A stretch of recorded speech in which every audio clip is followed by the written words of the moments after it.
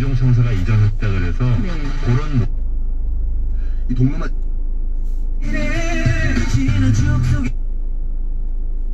정치적인 어떤 사인을 저는